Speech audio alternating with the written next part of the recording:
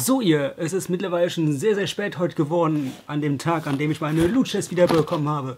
Wir haben jetzt, ich weiß auch nicht, irgendwie kurz nach halb zwölf oder sowas, keine Ahnung. Bin jetzt eben erst von der Arbeit gekommen, aber ich will es mir natürlich dann trotzdem nicht nehmen lassen, die Luches auszupacken und euch daran teilhaben zu lassen. Auch wenn wahrscheinlich schon die meisten auf irgendeinem anderen Kanal gesehen haben, was da drin ist. Aber ist mir egal, weil mir macht das Spaß, das Auspacken. So, also fangen wir an. Das hier ist die Loot Chest Plus des Monats, was haben wir, März. Und es ist diesmal eine sehr, sehr leichte Loot Chest. Und ich sehe auch jetzt hier direkt schon beim ersten Teil, warum die so leicht ist. Weil hier irgendwas Super Mario-mäßiges, was ist das? Eine Decke?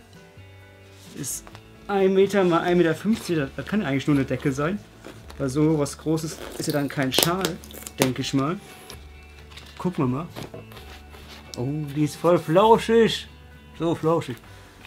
Das hier ist ein... Falsch rum? Natürlich. Es ist, ich, ich mache die Dinger immer erstmal falsch rum auf. Es ist eine Decke, eine... Oh Gott, das wir müssen weiter weggehen. Das passt gar nicht ins Bild rein. So. Eine coole Fließdecke. Oh mein Gott, die ist ja richtig cool. Wohin packe ich die denn? Ich glaube ins, ins Auto. Das ist so eine richtig schöne Autodecke, weil die halt nicht zu groß ist. Yep, die kommt ins Auto. So, was haben wir hier noch? Hier ist noch ein, ein Ghostbuster Vinylsticker. Der ist ja, naja. Oh, da, halt, da, das ist ein Meeressticker. Das ist nicht nur der in der Mitte, sondern die ganzen kleinen Dinger hier außen rum. Also das, der Ecto 1, das Slimer, das. Oder unten, was ist das? Das, dasselbe in äh, klein wie das große Ding. Das sind alles einzelne Sticker. Also wir haben hier insgesamt also fünf Sticker. Ist cool. Weiß ja nicht wohin damit, aber ist ja vollkommen egal. Was haben wir hier? Passend zum, wann kommt der Film raus? Ich glaube nächsten Monat. Batman vs. Superman. Ähm, ein Spielkarten, naja, Spiel halt. Mal gucken, was denn hier so für Karten drin sind. Was ist das denn? Ist das sowas wie dieses Autoquartett, halt nur mit, mit Superhelden? Oh, geh auf, du kleine. Ah. Jemand kriegt es auch mal auf. Und wenn ich es erstmal aufhabe. Ah, hier ist ein Anfang. Dann kann ich euch auch zeigen, was denn hier so viele Karten sind. Und auch für ein Ding mir, selber zeigen, was denn hier so viele Karten drin sind. Ah nee, das ist hier so ein stinknormales. Äh, das kann man gar nicht so gut sehen, gell? Ein stinknormales Kartenspiel. Mit verschiedenen Batmans. Die sind super dunkel gehalten, die ganzen Mistdinger. Das ist sehr. Hier ist ein bisschen helleres. Ah, es ist ein stinknormales Kartenspiel mit Symbolen, mit Batman und mit Superman und noch einem sehr komisch aussehenden Superman. Was ist das? Ich habe keine Ahnung. Das ist cool. Wenn ich mal irgendwann ein Kartenspiel richtig spielen kann, abgesehen von Uno, dann kann ich das auch mal benutzen. Was haben wir hier? Hier ist eine kleine wohl Mini-Überraschungsbox in der großen Überraschungsbox. Und das scheint mir eine Art, naja, einer von vielen verschiedenen Anhängern zu sein. Was haben wir denn? Wir haben eins mit Sonic. Das ist ein, weiß ich nicht, da kann man hinten noch Kontakt, Kontaktdaten draufschreiben wenn man lustig ist. Boah, das riecht. Das ist pure Chemie. Kennt ihr diese, diese aufblasbaren Luftkissen oder sowas? Diese ganz, ganz billigen, ganz, ganz schlechten. Die haben doch so einen ganz fiesen, komischen Geruch. Und so riecht das hier. Sollte man sich vielleicht nicht zu oft an die Nase halten. Dann ist hier noch was. Ich weiß gar nicht, was ist das. Ist irgendwas was Kleines von der Loot Chest. Es ist wohl so eine Art Aufkleber, aber das ist halt, ein, das ist halt so, ein, so ein richtig ein richtig dicker Aufkleber. Das ist jetzt kein billiges Papierdingsbums, also was ich, was heißt billig? Ist halt jetzt nicht das Material wie der hier, sondern das ist eher was ganz dickes, fast schon gummiartiges. Keine Ahnung. Was haben wir hier? Noch eine von G2A. Das ist halt irgendwie so, so eine, so eine 3 Euro Gutscheinka äh, Gutscheinkarte. Und ich glaube, die Seite, auf der war schon nur ein, eins mal, da kann man halt dann auch so Spiele kaufen oder so ein Kram, glaube meine ich. Tausende von digitalen Produkten zu Hause, ja, Spiele. So, was haben wir hier noch? Hier war noch, noch ein, Schlüsselanhänger. Oh, nee, das ist viel besser als ein Schlüsselanhänger. Und wie gut, dass ich keine Schere habe, weil diese Dinger hier auffahren, das ist immer voll der Kack. Ohne eine Schere, nur mit einem Messer.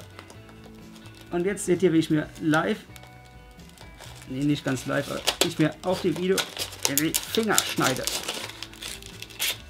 Ah. Mach das nicht zu Hause so nach. Ich bin Profi, ich kann das. So, also das ist nicht nur ein cooler, ja, sagen wir mal, Batarang Schlüsselanhänger, sondern hier in der Mitte, das ist ein Flaschenöffner. Wie cool ist das denn? Es ist ein, und das ist relativ schwer. Also das ist richtiges Metall hier. Ja, kann man jetzt toll hören, eigentlich nicht. Also das ist ein cooler Batarang oder einfach nur Batman Symbol, Schlüsselanhänger mit integriertem Flaschenöffner. Wie cool. Jetzt haben wir hier noch was, das ist ein T-Shirt. Oh, da steht wieder was drauf, was ich nicht kenne. Aber dafür haben wir unser kleines Loot Chest Heftchen und da kann ich dann gleich wieder nachlesen, was, da, was das ist. Weil hier steht nämlich drauf, da steht, da steht drauf, Spong, Song, Songbird, Songbird. Was ist Songbird? Ich kenne das nicht. Ich kann mir das zwar grob übersetzen, aber was ist das? Keine Ahnung. Ich kenne es nicht. Werden wir gleich nachlesen. Und hier, wie immer, wie in jeder Loot Chest, ganz egal ob Loot Chest Plus oder nicht, wieder irgendwas Kleines zum Essen.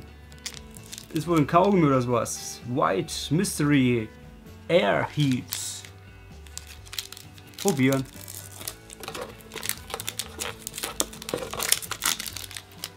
Oh, das riecht gut. Riecht irgendwie so ein bisschen wie, weiß ich so, ganz, ganz bisschen nach Red Bull. Aber schmeckt wie, oh, das schmeckt richtig gut. Schmeckt wesentlich, besser. Aber stopp. Das ist doch gar kein Kaugummi. Ich weiß nicht, das ist einfach nur so ein Graubonbon. Bonbon. Okay. Während ich hier weiter kaue, werde ich ganz zivilisiert beim Kauen euch sagen, was denn hier drin war. Das haben die geändert. Ist gar nicht mehr so aufgebaut wie sonst mal, weil sonst war es immer mit einem anderen Hintergrund. Und dann war dann direkt bei den Bildchen dann dabei, die Beschreibung. Aber macht ja nichts. Fangen wir mal an. Das hier ist ein Sonic Backtag. Ist hier schon mal ein Koffer, aber das ist so, so ein Kofferbunch. So viel zum Thema Adresse. Mm, das hier kostet 2,99. Das ist cool. Ich verreise nächstes, nicht nächstes Jahr, nächsten Monat für 8 oder 9 Tage, ich habe es gerade vergessen, nach Tokio. Soll ich den dran machen? Ich habe nämlich auch noch so, so, so einen Koffer-Anhänger-Dingsbums von, ähm, von Blizzard, von, von, von äh, dem Spiel Hearthstone. Das war letztes Jahr in der, äh, wie ist das immer, in, in dieser BlizzCon-Bag-Dingsbums drinne. Egal. Ähm, was hat mir denn jetzt hier noch? Genau, also das hier, wie gesagt, dieser Sonic Back Tag, der kostet 2,99. Das, das ist Songbird Batman Mash-Up T-Shirt. Erkennt hier einer, einer Batman drinne? Mit viel Fantasie, ja? Keine Ahnung. Nach seinem Kampf gegen Superman macht sich Batman auf, den allseits gefürchteten Songbird, ah, Bioshock Infinity, ein Spiel, das ich nie gespielt habe, herauszufordern. Der Kampf Fledermaus gegen Stahlvogel, wahrscheinlich nie im Kino. Okay, das T-Shirt hier kostet 14,95 Euro. Dann hatten wir hier noch diese super, super coole Fließdecke. Die kostet, die kostet ähm, 12,99 Euro. Da in Bettkomfort. One Up. genau. Dann, ganz schön teuer, das Batman vs. Superman Kartenspiel. Oh, das war glaube ich laut. das kostet 6,99 Euro. Alles auf mein auf das Bonbon-Ding hier drauf. Das kostet 6,99 Euro. Hm. Haben wir denn jetzt hier noch? Die äh, Air Heats, also dieses Bonbon-Dingsbums hier. Da steht bei, äh, bei Markenpreis einfach nur tasty. Lecker. Und was hat denn jetzt noch genau? Das, der, die, wo? Wo hab ich's hin? Das ist weg. Noch hier. Der Sticker, die Stickers, Stickers sind ja mehrere, die Ghostbuster Sticker, die kosten 3,99 Euro. Und was jetzt auch nur in der Loot Plus drin ist, was nicht in der normalen Loot drin gewesen wäre, ist der, da dieses Batman Multitool. Das wird hier als Multitool bezeichnet. Und das kostet ganze 10,95 Euro. So, was ich eben äh, gar nicht gesehen habe, das Ding hier ist nicht einfach nur ein cooler Schlüsselanhänger und ein äh, Flaschenöffner, sondern wir haben hier auf den Flügelspitzen noch jeweils ein äh, äh, Schraubenzieher drauf. Und zwar ist nämlich hier ein kleiner Kreuzschraubenzieher und hier ist ein Schlüsselschraubenzieher. Also das hier ist wirklich ein, wie ist das ganze Ding? Ein Multitool.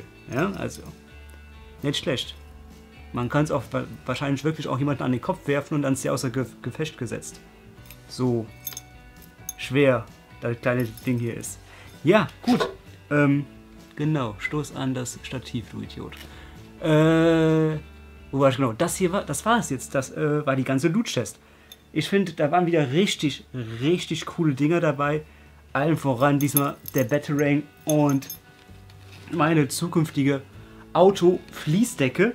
Ähm, natürlich auch wieder andere Sachen, die ich jetzt nicht so dolle fand wie das Kartenspiel, aber nicht, weil das Kartenspiel jetzt, irgendwie jetzt hässlich wäre oder so, sondern halt einfach nur, ich spiele keine Karten. Deswegen kann ich jetzt mit den Kartenspielen halt nicht so viel anfangen. Aber dafür andere Menschen bestimmt umso mehr. Oh, guck mal hier, da ist sogar noch äh, die Wonder Woman. Macht die, ich weiß nicht, was sie macht, keine Ahnung. Ähm, ja, äh, falls ihr jetzt sagt, oh cool, brauche ich auch das ganze, ganze Zeug, das kriegt ihr nicht mehr. Das war nämlich nur in dieser Loot Chest. Aber es gibt ja jeden Monat eine neue Loot Chest.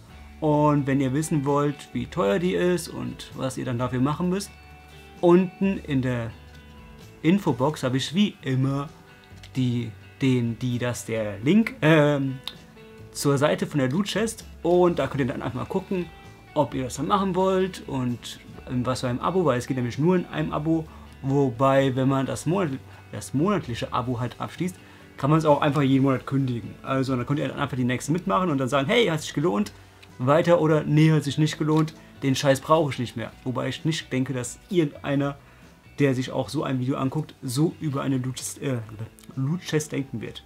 Ja, das war's, wie eben schon erwähnt. Und deswegen würde ich jetzt einfach mal sagen, weil ich jetzt auch keinen Bock mehr weiterzureden, weil es schon so spät ist. Bis zum nächsten Video. Macht's gut.